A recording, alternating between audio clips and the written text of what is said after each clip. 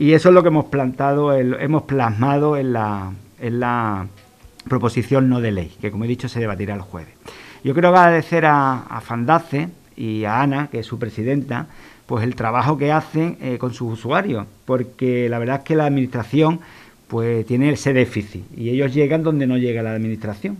Y muchas veces pues que tenemos muchos contactos no solamente para esto, sino para muchas otras cuestiones, pues es importante que la administración siga eh, mimando y que siga trabajando con ellos para que ellos sigan prestando los servicios que prestan a los usuarios, porque sin ello, como he dicho, no, no sería posible.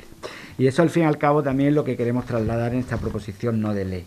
Es una PNL que además será, este observatorio será pionero porque será por primera vez Andalucía, una vez que se apruebe esta proposición no de ley, instando al, al, Consejo de Gobierno, pues tendrá su observatorio que tendrá, evidentemente, que se tendrá que poner en marcha, se tendrá ya que ir trabajando con, su, con las personas y las entidades que lo integrarán y todo eso lleva, bueno, un trabajo que va detrás de esto. Este es poner en primer lugar es un granito de arena, pues para que se empiece a trabajar en esa demanda que se lleva que se lleva reivindicando.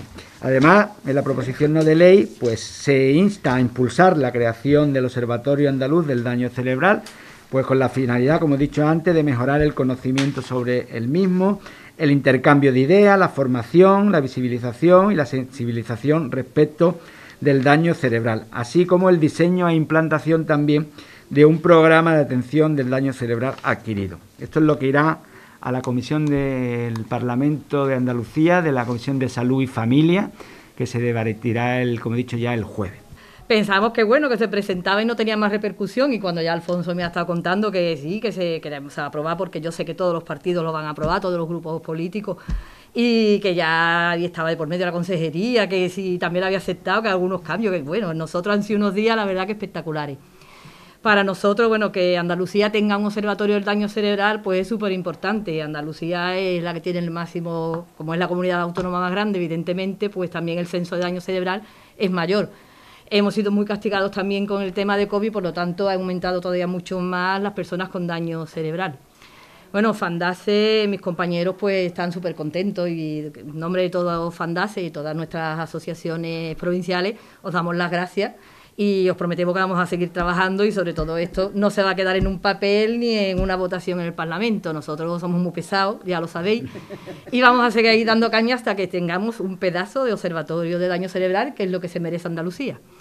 Nosotros el observatorio pues es lo mismo, es más trabajo, es seguir trabajando, pero como familiares que somos la mayoría que componemos la junta directiva de Fandase, pensamos que es que, como ha dicho Alfonso, la administración no llega porque faltan recursos, entendemos que somos muchos y si no estamos las familias ahí empujando, la verdad que muchas cosas se quedan en el aire. Entonces, mm, siempre vamos a estar pidiendo, siempre vamos a estar rogando, siempre vamos a estar trabajando. Y tenemos que pensar que son personas, las personas con daño cerebral son iguales que nosotros han sufrido desgraciadamente pues un accidente, un ictus, pero tienen los mismos derechos que tenemos todos nosotros, incluso tenemos que prestarle mucha más atención. Y sí, lo hacemos los familiares y lo hacemos pues todos los equipos técnicos y vivimos para ello. ¿Qué nos va a dar el observatorio? Bueno, pues nos va a dar muchísima cobertura para todo, para poder trabajar con ellos. El asesoramiento, tanto a nivel social, a nivel educativo, a nivel laboral. Eh, a nivel técnico, eh, nosotros creemos, evidentemente un observatorio pues tiene que estar compuesto por personas que sean expertas en esto, en estos temas. Y Fandase pues queremos estar como entidad del tercer sector que ha trabajado en Andalucía por el daño cerebral.